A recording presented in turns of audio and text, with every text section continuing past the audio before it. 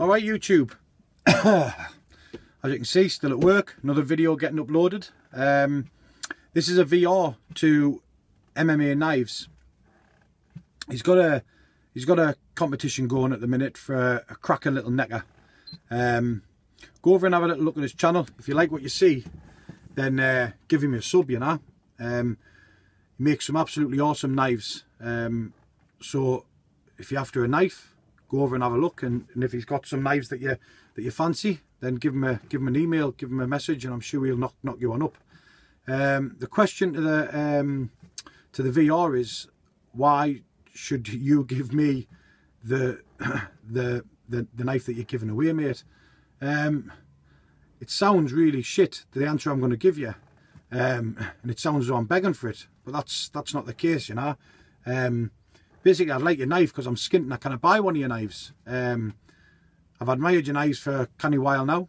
Uh, I like what you're doing. Um, you know, you're making a lot more knives than I am. I mean, I wish I had more time to get in there and make a few knives. Um, but just for work, um, bushcraft shows, meets, you know, camps, I haven't got the time of day to crack on and make as many knives as, I, as I'd like to.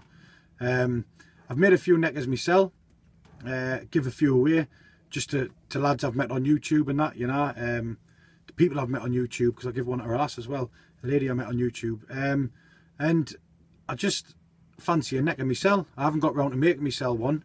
Um, I can't afford to buy one of yours, mate.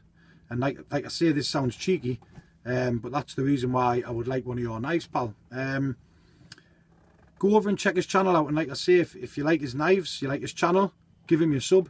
Um, he should have a lot more subs than he's got, you know. Um, and like I say, he's a cracking lad. Always messages me back when I send him a message, you know. Um, so go over and go over and have a look. And if you like what you see, then uh, give him a sub. And I hope that's all right for your VR, mate. And uh, send us a PM back or send us a message to let us know that you've got this. I don't know what's going on with my camera. It's going all blurry as if I'm going like a ghost. But uh, anyway, I'll catch you on the next one. Thank you very much. Laters.